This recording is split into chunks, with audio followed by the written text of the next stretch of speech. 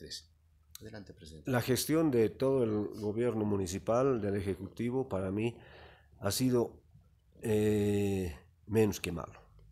Menos que mala en todo caso, ¿no? porque la verdad ha sido una, una gestión bastante negativa y, y, lo hemos descubierto una vez que ha asumido la nueva alcaldesa y que prácticamente nos, han de, nos ha dejado el anterior eh, alcalde con una bajísima ejecución presupuestaria. O sea, se han dedicado a otra cosa y no a trabajar.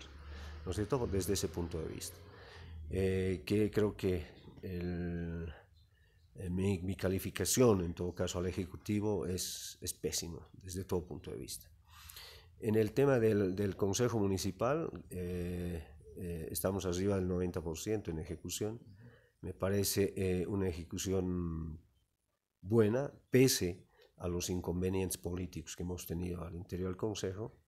Bueno, pero es mejor cuando tenemos gente opositora a la, a la directiva y allí se ven los resultados de una gestión si, si todos hubieran estado con, con, la directiva, bueno, pues eh, sería una maravilla, ¿no es cierto? Pero no, es mucho mejor cuando tenemos eh, gente que está en contra de la directiva y allí se ven los resultados, si ha sido buena o mala la gestión.